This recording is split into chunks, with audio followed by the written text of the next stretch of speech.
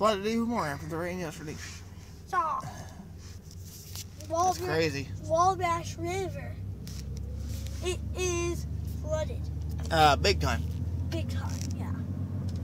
It's the worst. I bet you that's going to be out for a few days. Yeah, probably. Yeah. And I wonder, because they use jackhammers out, out, out, out here, and then, like, the signs, it's...